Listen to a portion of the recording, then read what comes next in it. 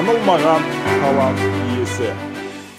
Ассалаумағалейкум атв телеканалының азиз ықыласпенділері телеэкран арқылы бізді тамашалап отырған қадірінен қадірбәлиен тамашагөйлер.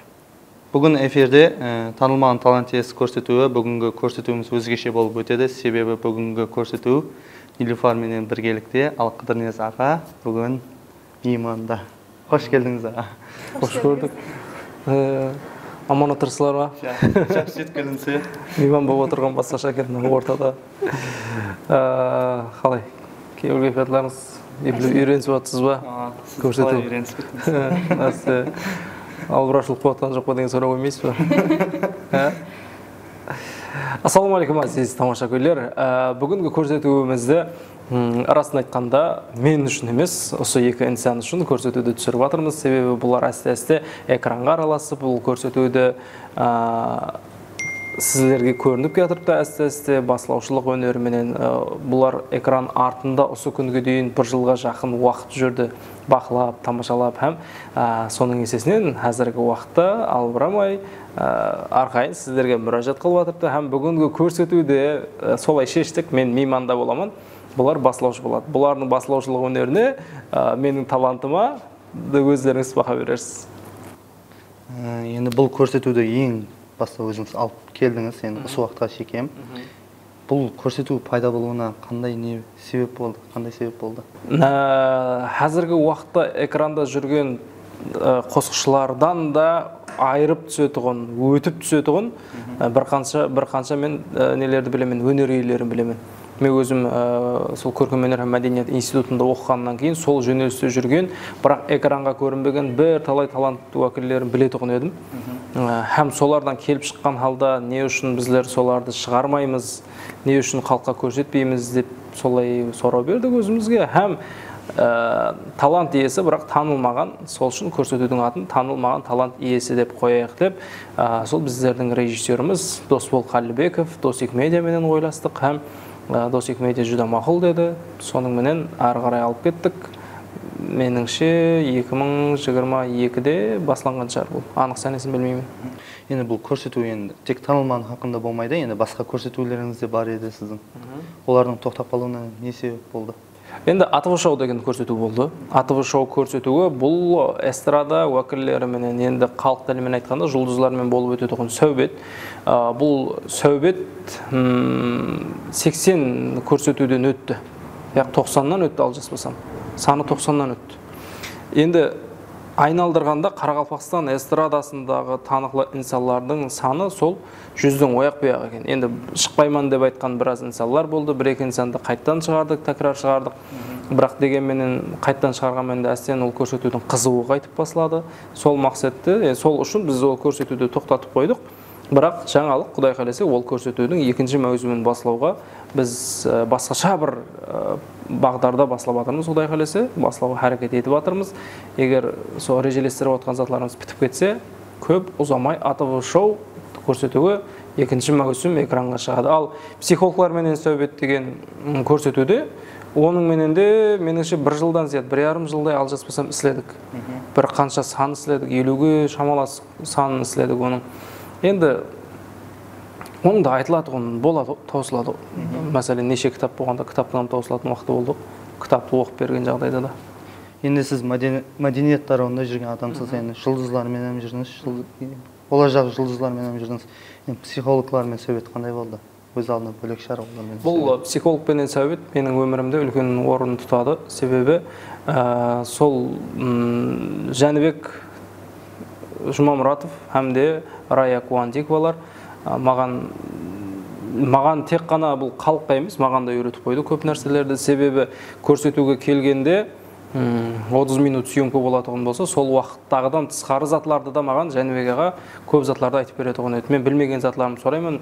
Мен сіздің айтып отқан затларыңызды былай қабылдадым бірақ негедір бір затлар болмай жатырды неге ол деп менде сұрай алу имканияты бар еді. Һәм сол бір жарым екі жыл давамында жәнібек ағадан. Енді рая куантиковамен көп сөhбетлеспейтұғын едік жеке былай Ә, онымен тек эфирде достасамыз. А бірақ көбінесе жәнібек ағаменен көрсетуғын едім. Һәм жәнібек аға маған көп затларды үйретті. Былай айтқанда өмірге деген көзқарасымды өзгертті деп айта аламын. Жәнібек аға рахмет. Егер енді көрмейсіз ғой сіз уақытыңыз жоқ. Атв телеканалында лайв чат көрсетуінде басқаратын едіңіз. Қазіргі уақытта ә, не үшін ол көрсетуге шықпай қалдыңыз?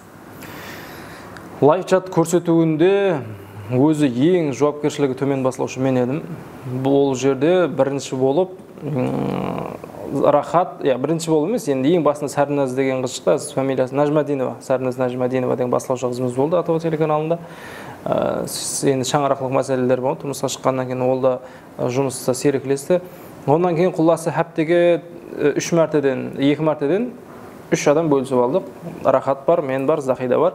Ә, бірақ сол жауапкершілік ең төмен мен деп жатқанымның себебі менің басқа жақта да жұмысларым бар. Мен өзім театрда жұмыс істеймін. Сол театрда жұмыс істегеннен кейін біздерде жұмыс онда басталады һәм он екі жарымда жұмақланады.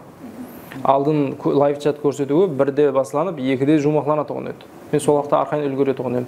Одан кейін он екі он екі жиырмада басталып он үш жиырмада таусылатұғын болды.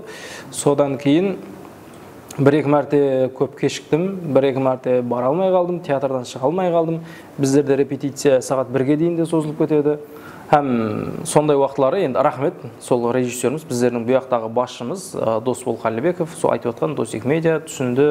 Һәм жағдай болмай қалған уақытлары сол өзіміздің үлкен басшымыз ғұлам ешниязовқа да шығатын едік. Аға менде сондай жағдай болып қалды. Бүгінше эфирде сондай сондай бір қателіктер болып жатырды іркілулер болып жатырды деп одан кешірім сұрап шығатын олар да тура түсінді. Бірақ расын айтқанда жағдай айта беруге қысындым өзім. Уақыт мәселесі келіспеді уақыт мәселесі келіспеді һәм бір күні зор бір жағдай болды. Мені қожелге мектепке бір ұшырасуға шақырды тіл байрамына. Сол алжаспасам өткен жыл қыста. Сол тіл байрамына ұшырасуға шақырды. Менің өмірімде бір қатты бір анандай машқала болып жатыр еді. Менің өмірімде мынандай стресске түсетін жағдай енді бірақ құдайға шүкір стресске түспедім ондай зат болмаған. Сондай жағдай болып жатқан уақытлары мен эфирімді ұмытып кеткенмен һәм мен қожелге ұшырасуға кетіп қалдым мектепке. Сөйтіп сағат он екіден жиырма минут емес енді он екіден он минут өтті. Маған смс келді қаяқтасың деген. Сөйтіп мен айттым ой эфирді ұмытып кеттім ал керегім болса сөйтіп жаздым аға осындай осындай жағдай болып жатыр ол бақырды неге сондай болып кеттіңіз және бір зат бір зат деген затларды сөйтіп болып содан кейін мен айттым жұлдыз қазір қиязова атв телеканал басылаушылар жүдә жақсы таниды соған айттым. Екі күнімді де сен ала қой сен жүргіз соны. Мен мына жақтағы жұмысым бар мен үлгере алмай жатырмын. Һәм соныңменен мен біреуді күйдірмей ақ қояйын өзім де күйіп піспей ақ қояйын деп лайв чатты да қойдық. Сонымен бір көрсетумен қалдық тең сонымен қазір танылмаған талант иесі бұл ең алдында. Мәселен атв шоу бұл атв телеканалының өзінің проекті. Өзінің жойбары атв телеканалының маған тек берді сен басылаушы боласың ба деді мен ауа деп қосылып кірдім. Психологпен сәубетте сондай. Маған оны досик медиа сол дос бол. Қалибек маған інім етті ұсыныс етті ұсын басқарасың ба сен деп яқшы дедім оған тайын проект лайв чатта сол бұрыннан менсіз де жүріп кетқан һәм менен кейін де жүріп кетеді тұғын а бірақ танылмаған талант иесі көрсетуін мен өзім жүрегімнен өткеріп өзім ойласып өзім ұйғарып қайта қайта жүріп ізіне түсіп өзім талантларды тауып сөйтіп істеп басталған проект болғаннан кейін білмедім мен бәлкім ә, талантлар таусылмайтұғын шығар соның себебінен шығар бәлкім жаңағыдай өзім проекттің иесі жойбардың иесі өзім болғаннан кейін шығар бәлкім осы көрсетуді еш болмаса осы көрсетуді тоқтатып қоймайын атывда бір аяғы болсын менің деген ниетте осы көрсетуге жан жанымменен деп жабысып жүріппін бейді енді сіз басылаушылықтан да басқа шайырсыз қосықлар жазып тұрасыз театрда актерсыз инстаграмда блогерсіз енді бұлардың бәршесін бірге алып бару сіз үшін қиыншылық тудырмай ма? Қиыншылық тудырады. Расын айтсақ. Қалай айтса болады бәріне де қызығамын расын айтсам бәріне де қызығамын. Инстаграм менің бос уақытымды толтырып тұрған нәрсе расын айтқанда. Бос уақытымды толтырып тұрған нәрсе мен инстаграмға нелерді істеймін видеоларды істеймін бір затларды істеймін. Һәм сол арқалы инстаграм арқалы халықпенен байланысым бар менің халық мәселен мұражатларын айтады мынандай зат болып жатыр мына зат істе һәм сондай пікірлесулер болады мен қолдан келгенше өзім психологияны үйрендім психологиядан тысқарыда бір қанша кітаплар оқыдым ә, соларды үйренгеннен кейін халық халықтың өзі де сондай негативный емес позитивный жаққа өтсе екен деген сондай бір ниетім бар ал енді қосық жазу мәселесіне келетін болсақ қосық жазуға арасын айтсам кейінгі уақытлары қатты қиналып қалдым. Қосық жаза алмайтын болып қалдым. Керек болса жазғым келеді тырысаман келіспейді. Жазғым келеді тырысаман келіспейді. Білмеймін бір уақытлар құдай береді өзі. Сол уақытлары жазамыз. Қазір 2024-те неше қосық жаздың десе 2024-те қазір біздер 8 айында болсақ айына бір қосықтан да келмейді. Жазсам үш қосық я төрт қосық жаздым.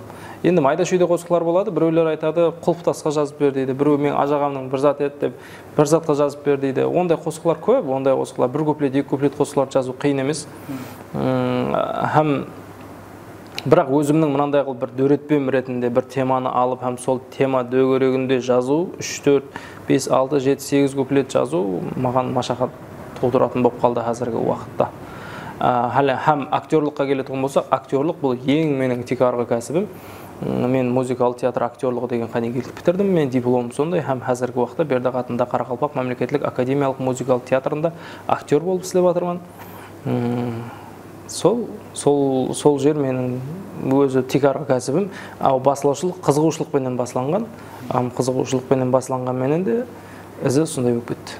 Бұларға қосымша және ораторлық курсын ашып оқушы даярлайтын едіңіз қашан басладыңыз оны оны оны да бір екі жыл болды. Баслаған бір екі жыл емес үш жылдай болған шығар. Оны баслағанымызға ең басы мұхаммед садық деген бір жігітпенен басладық. Ә, ол қазіргі уақытта ташкентте. Сол- ол уақытта бірақ бірінші екінші курс екі курс оқыттым. Екі курсымнан расын айтсам дұрыс үйрете алдым. Дауыс шынығулары дем шынығулары ә, дауыс қалай тынық шығады қалай сұлу шығады сол затларды үйрете алдым. Бірақ ә, олар меніңше толық жақсы дәрежеде кеуілді қанаттыландырар дәрежеде үйрене алған жоқ. М, енді егер сол уақыттағы менің оқушыларым бар болса маған қатынағандар бар болса кейінгі курстарға мен қатынасамын дейтұғын болса оларға мен ешең қылып бергім келеді. А бірақ кейін аштық тағы бір курс аштық бір курс қана оқыттым. Һәм екінші курсты істейтұғын уақытта менде қайтадан сол баса басалар болып кетті. Сонымен қайтадан тоқтап қалды. Бірақ ол курсқа енді қатты бір кеуілім толмағанменен наразы болып та қалмадым. Себебі оқушылардың жақсы нәтижелері болды. Һәм сол оқушыларымның м, нәтижелерін өздері де айтып берген мен былай да көргенмін. Басылаушылыққа қызығатулар да шыққан. Ішінде һәм мен мынандай нәтижеге ерістім рахмет сізге деп өзінің мінетаршылығын айтып кеткендер де болған. Бұйырса ораторлық курсын әрі қарап давам етеміз. Оның ә, несі сабақлықлары тайын өзі бір айға ә, һәм бұйырса оны октябрь айынан бастаймыз. Сіз енді бір жағынан шайырсыз. Ә, бізге қаралпақ тілі ұстазым да айтатын еді. Ә, сен қанша қа- қағаз алып оны қаралап неғанменен алла тағала тарапынан берілген не десек інім берілмесе сен шайыр бола алмайсың дейді. Талант болмаса. Енді сізге ілхам қай жақтан келеді һәм ол қай жақтан пайда болды ол нәрселер? Шайырлыққа деген енді осы күнге дейін бір кітап болатын қосық жазып тастай қоймадым. Арасында шыжбайлап тұратұғыным рас. Өзім расын айтсам шайырман деп айтқым да келмейді. Бір әуесқер шайыр деп айтсақ болады. Ілхам қаяқтан келеді деген нәрсеге енді білмедім. Бір уақытлары болады бір арқан көтеріліп сөз талқыланып тұрады. Былай айтқанда менде шайыршылық өнер бар құдай берген. Бірақ дегенменен ұдайы бір дәрежеде жаза аламын деп айта алмаймын. Себебі құдай қай уақытта береді сол уақытта жаза аламын болған мәселен ілхам неден пайда болады? Ә, біреуді қатты жақсы көрсең біреуге қатты разы болсаң біреуге қатты наразы болсаң һәм ойыңа өткір пікірлер келген уақытта сондай уақытларда ғана ілхам келеді һәм қағазға істен тиісіп бастайсың. Қағаз емес көбінесе телефонға жазамын. Бірақ арасында қағазға да жазып тұрамын. Ең бірінші жазған қосылыңыз. Ұстазым уақытында жетінші класста жетінші класстан сегізінші классқа өтетін уақытта жаздым. Иә жетінші класста жаздым һәм жетінші класстан сегізінші классқа өтетін уақытымда ақмаңғыт таңы деген газетаға бердім. Сол газетадан сол үш ай демалыстың уақытында шыққан бірінші қосылымды мамама әкеліп көрсеткенде мамам жылаған. Ұстазым деген қосық